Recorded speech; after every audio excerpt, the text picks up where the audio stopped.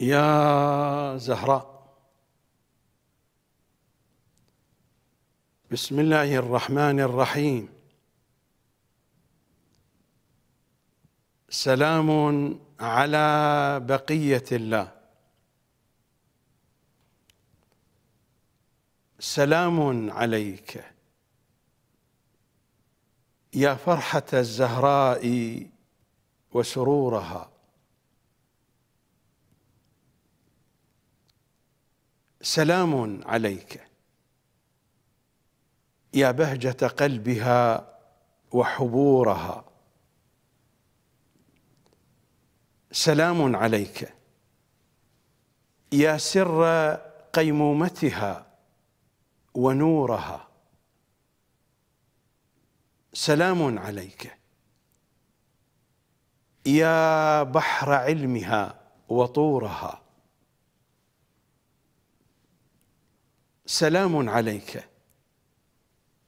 يا باب حكمتها وسورها. سلام بجوامع السلام. يا ابن القيمة فاطمة ما دام ليل أو نهار وأنتم سلام عليكم. إنه التاسع من ربيع الأول. الغدير الثاني. هكذا وصفه أئمتنا صلوات الله وسلامه عليهم أجمعين. لا أريد أن أحدثكم عن المناسبة زمانا وأحداثا إن لم يكن ذلك من مقاصد هذه الحلقات. لكنني سأشير بنحو إجمالي إلى ما يرتبط بهذا العنوان المهم الغدير الثاني. سؤال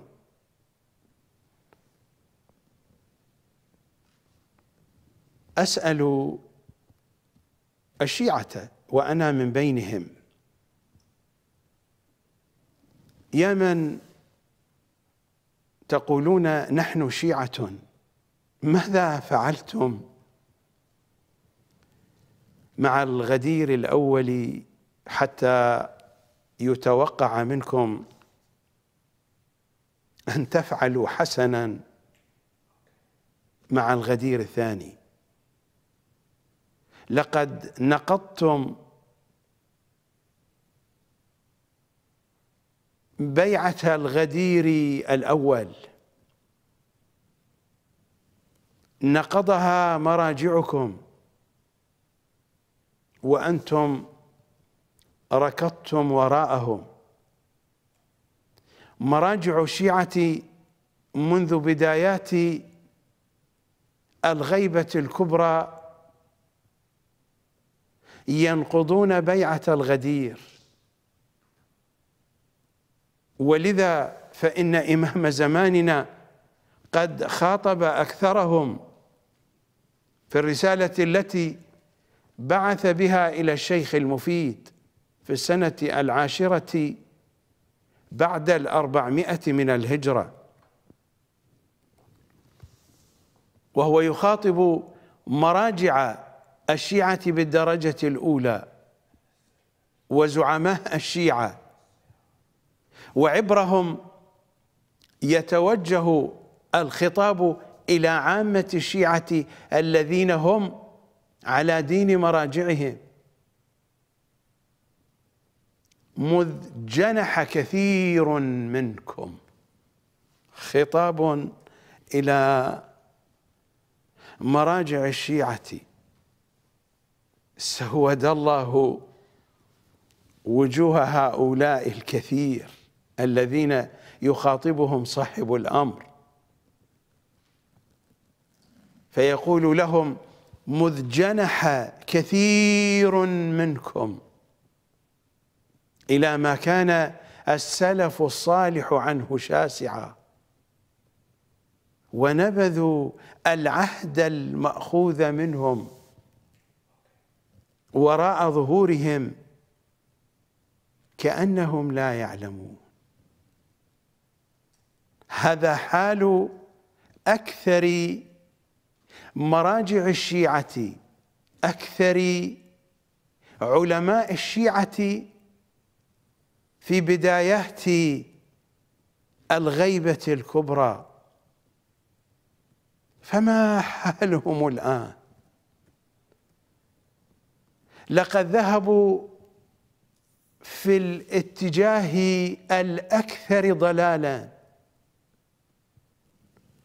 في الاتجاه الأبعد والأبعد والأبعد والأبعد. عن إمام زماننا. لقد ابتعدوا عن إمام زمانهم بكل ما أوتوا من قوة ومن طاقة. حتى وصلنا إلى ما وصلنا إليه. أنا لا أريد أن أحدثكم عن مقتل عمر بن سعد في مثل هذا اليوم حيث قتله المختار الثقفي رضوان الله تعالى عليه. قتل ذلك الكائن اللعين النجس. عمر بن سعد ألا لعنة الله عليه. لا أريد أن أحدثكم عن هذا الحدث الذي وقع أيام نهضة المختار وثورته الحسينية. ولا أريد أن أحدثكم عن مقتل الخليفة عمر. إنه عمر بن الخطاب. ففي مثل هذا اليوم قد قتل بحسب أحاديث أهل البيت وبحسب ما يعتقده عوام الشيعة لا بحسب ما يعتقده مراجع الشيعة. فمراجع الشيعة من السيستاني وغيره ومن الذين سبقوه ومن الذين يعاصرونه. إنما أشير إلى السيستاني لأنه المرجع الأعلى. فهؤلاء المراجع يعتقدون أن الخليفة عمر قد قتل في آخر ذي الحجة بحسب رواية الطبري في تاريخه ورواية أمثال الطبري. هم يرفضون ما جاء عن أئمتنا من حديث مروي عن أمير المؤمنين من أن عمر بن الخطاب قد قتل في هذا اليوم. مراجعكم الأعم الأغلب وأتحدث عن المراجع الذين تقلدونهم الآن وفي سابق الأيام عبر تاريخ حوزة النجف المشؤومة. مراجعكم يرفضون حديث العترة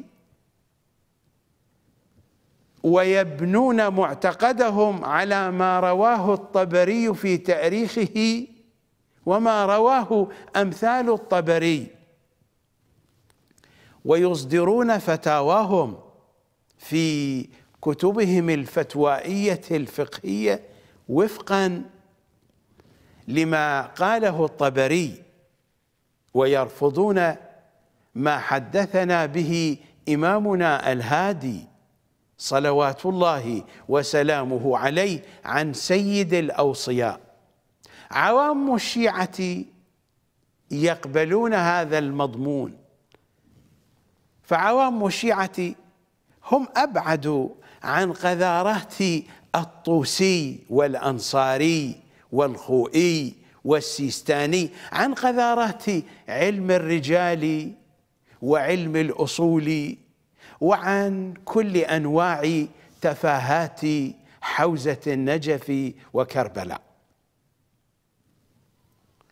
أنا لا أريد أن أقف طويلا عند هذه النقاط.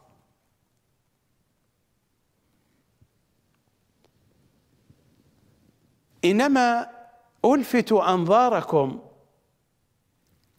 إلى ما رواه لنا أحمد بن إسحاق القمي رضوان الله تعالى عليه عن إمامنا الهادي.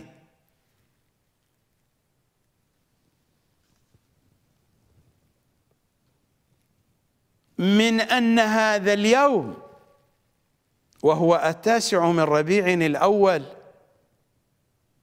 هو يوم عيد وهو أفضل الأعياد عند أهل البيت وعند مواليهم. أفضل الأعياد. هذا حديث إمامنا الهادي صلوات الله وسلامه عليه يحدثنا به أحمد ابن إسحاق القمي. من عيون شيعة أهل البيت. يحدثنا عن إمامنا الهادي من أن هذا اليوم هو يوم عيد وهو أفضل الأعياد عند أهل البيت عليهم السلام وعند مواليهم. إنني أقرأ عليكم من الجزء الحادي والثلاثين من بحار الأنوار لشيخنا المجلسي. رحمة الله عليه في الصفحة التاسعة والسبعين. رواية طويلة مفصلة يحدثنا بها إمامنا الهادي عن أمير المؤمنين صلوات الله عليهم. من جملة أسماء وأوصاف هذا اليوم أمير المؤمنين يقول من أن هذا اليوم يوم الغدير الثاني يوم الغدير الثاني لا بمقتل عمر بن سعد ولا بمقتل عمر بن الخطاب. إنه اليوم الأول بعد استشهاد إمامنا الحسن العسكري. إنه اليوم الأول من أيام الإمامة الفعلية لإمام زماننا الحجة بن الحسن. مراجع الشيعة يرفضون ما تعتقده عامة الشيعة من أن الخليفة عمر قد قتل في هذا اليوم. وعامة الشيعة لا يعبؤون.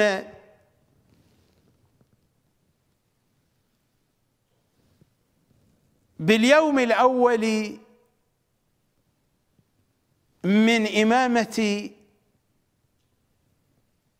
إمام زماننا الفعلية.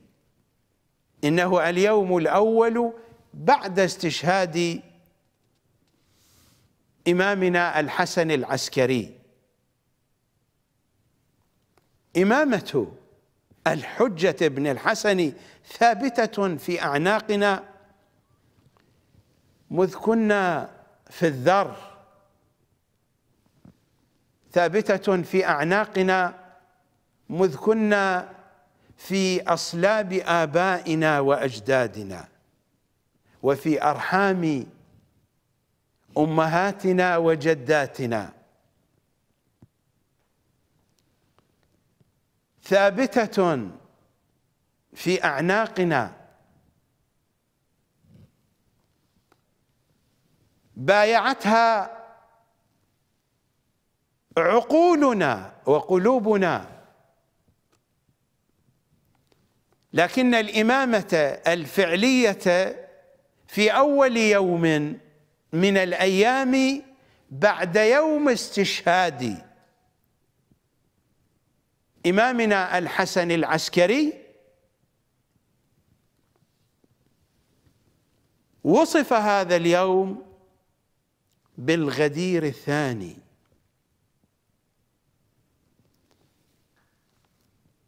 ووصفه أمير المؤمنين من أنه يوم عيد الله الأكبر. هو الغدير الثاني. اهتمام عامة الشيعة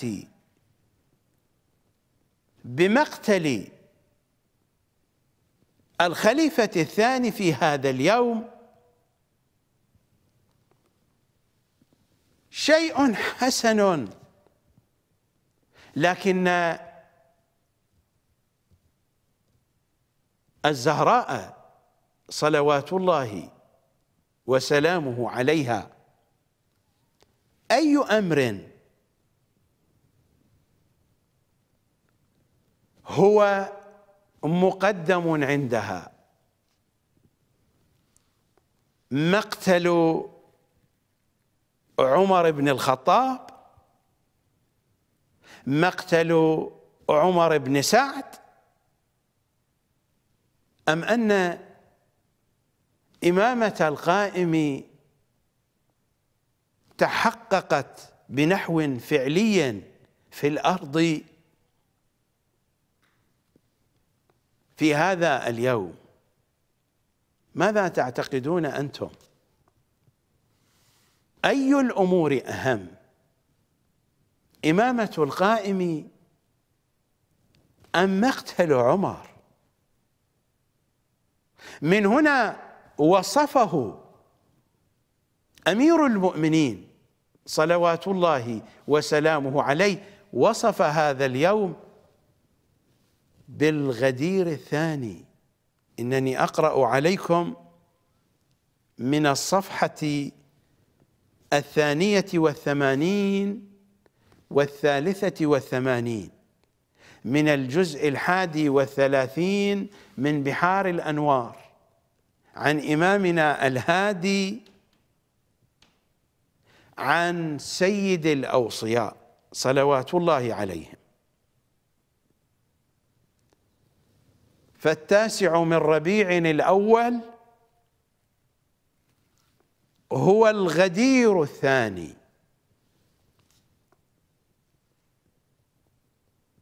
وهو عيد الله الأكبر.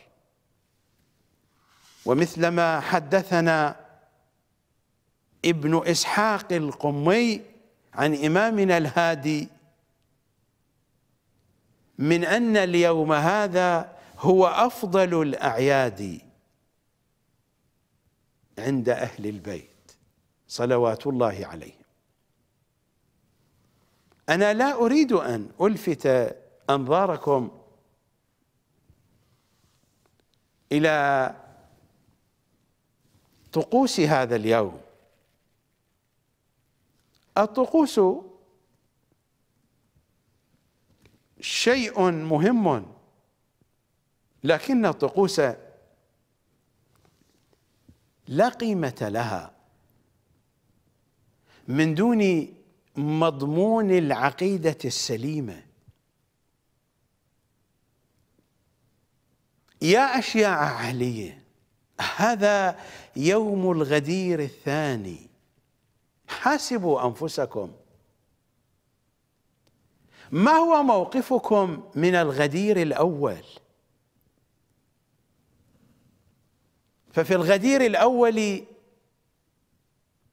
اشترط علينا رسول الله أن نأخذ التفسير من علي وآل علي فقط. وأن نأخذ الفهم أن نستنبط الأحكام الشرعية وأن نستنبط عقائدنا. وفقا لقواعد المنطق العلوي. فقط. فماذا فعل مراجعنا؟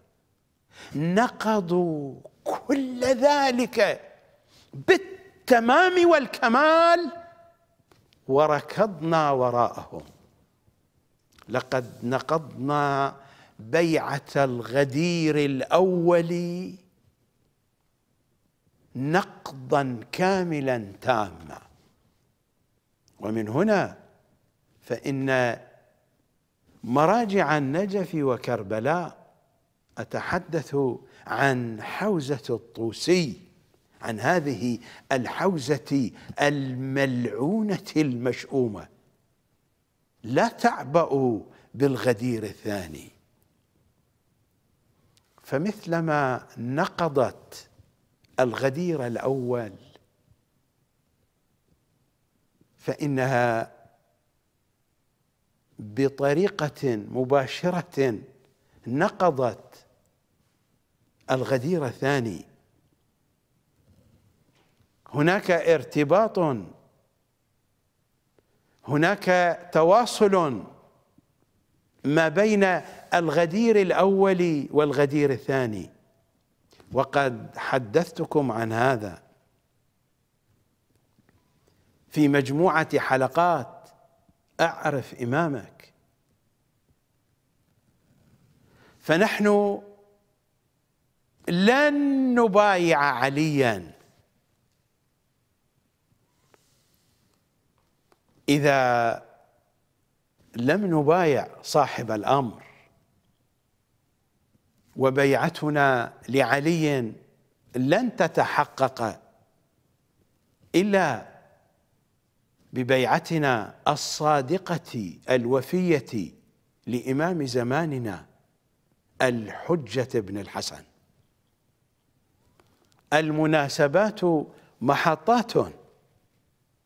لها طقوسها والطقوس مهمة لكن الطقوس لا قيمة لها. من دون أن ندرك مضمون تلك المناسبات وفقا لمنظومة العقيدة السليمة.